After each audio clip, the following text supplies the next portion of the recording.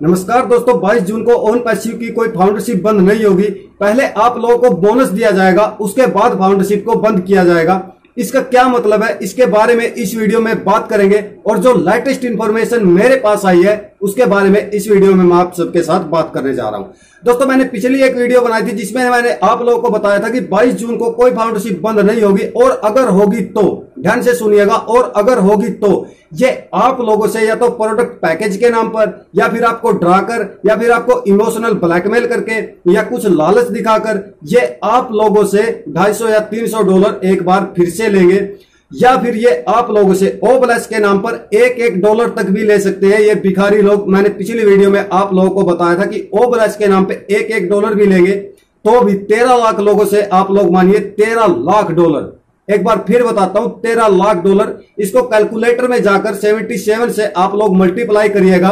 तेरह लाख को seventy seven से तो आप लोगों को पता चल जाएगा कि कितने करोड़ रुपए ये बनते हैं। एक एक डॉलर भी अगर ये लोग लेंगे तो। दोस्तों, आज मैं इस वीडियो में जो लेटेस्ट इंफॉर्मेशन मेरे पास आई है, उसके बारे में बात करने जा रहा हूँ। दोस्तों, ये लोग क्या करेंगे? अभी जो 22 जून को फाउंडरशिप बंद करने की बोल रहे हैं या तो एक बार के लिए ये फाउंडरशिप बंद करेंगे और उसके जस्ट पाँच या दस दिन बाद या पंद्रह दिन बाद ये लोग फिर से फाउंडरशिप को ओपन कर देंगे। ध्यान दीजिएगा, जो कुछ मैं कहने जा रहा हूँ वही होने वाला है।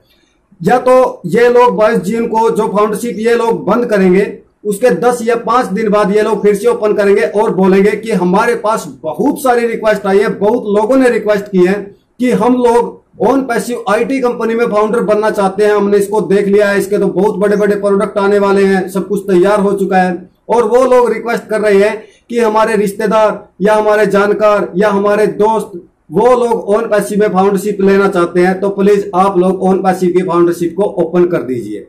ये आप लोगों को बोलेंगे, या फिर ये लोग 22 जून को फाउंडरशिप बंद ही नहीं करेंगे, यही सेम बात बोलेंगे कि बहुत सारे लोगों की भारत से और दूसरे देशों से रिक्वेस्ट आई है कि अभी फाउंडरशिप को बंद मत करिए, हम लोग फाउंडरशिप लेना चाहते हैं और अपने रिश्तेदारों को, अपने दोस्तों को हम लोग फाउंडरशिप दिलवाना चाहते हैं। दोस्तों, यही काम आपके साथ होने वाला है, यही अपडेट जो मैं आपको देने जा रहा हूँ, यही सत्य है, ना कोई प्रोडक्ट है, ना कोई प्रोडक्ट आपको देखने को मिलेगा, ना कोई रेवेन्यू है, आपके पैसे हजम हो चुके हैं कुछ लोगों ने जो रिफंड की रिक्वेस्ट लगाई हुई थी पीएमओ को जिन्होंने लिखा, उनका रिफंड उनके पास आ गया, सात हज़ार कुछ रुपए उनके पास आ गए। नहीं तो पिछले दो दो साल से, जी हाँ दोस्तों, पिछले दो दो साल से लोग रिफंड के लिए कभी ढिल्लन के पास जा रहे हैं, कभी केडी शुक्ला के पास जा रहे हैं, कभी जस्सी के पास जा रहे हैं, और कभी इनके दलाल जो यूट्यूबर्स यूट्यूब पे बैठे हैं जाफरी सूरज और सोमलता जैसे कभी इनसे संपर्क कर रहे हैं। ये तो उन लोगों से बात करते ही नहीं है, लेकिन वो लोग हर वीडियो पे बेचारे कमेंट करते ही ज़रूर है।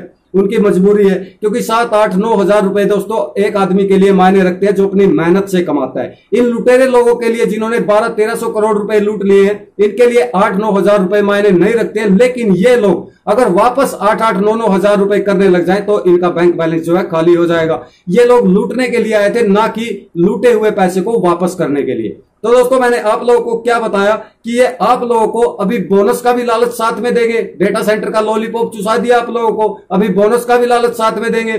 और फाउंडरशिप भी ये कहकर ये लोग या तो बंद कर देंगे, फिर हफ़्ते बाद ओपन कर देंगे, या फिर ये कहकर ये लोग बंद ही नहीं करेंगे कि बहुत सारे लोगों की रिक्वेस्ट आ रही है कि हमें ओन पैसिव कंपनी में फाउंडर बनना है और आप लोग ओन पैसिव की फाउंडरशिप को ओपन कर दीजिए और उसको छोड़ दीजिए। फिर ये लोग क्या करेंगे कि अभी दस दिन का और टाइम दे रहे हैं, अभी दस दिन का और टाइम दे रहे हैं। खोल तो दिए, अभी दस दिन का और टाइम दे रहे हैं। ऐसे ऐसे करके फिर ये सिलसिला चलता रहेगा और ये फाउंडरशिप कभी भी बंद नहीं होगी। यानी कि लोगों को लूटने का यह धंधा जो 2018 में इस स्क्रिप्ट लिख दी गई थी कि लोगों को कैसे लूटना है, ये कभी बंद नहीं होगा।